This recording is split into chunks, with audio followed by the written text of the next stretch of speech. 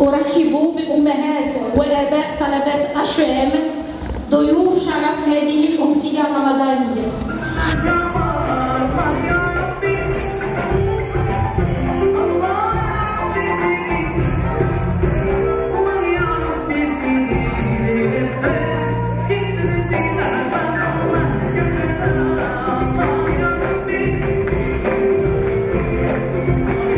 Thank you.